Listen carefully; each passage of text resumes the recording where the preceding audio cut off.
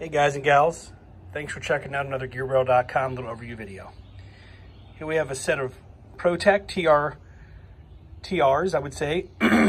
Top one's TR4, larger, and the bottom one's TR5.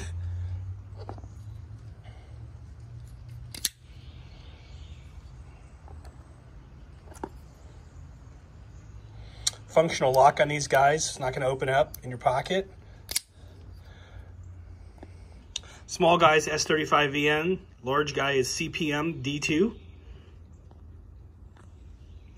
Guys, get them at gearbarrel.com. Small guy's a deep carry pocket clip.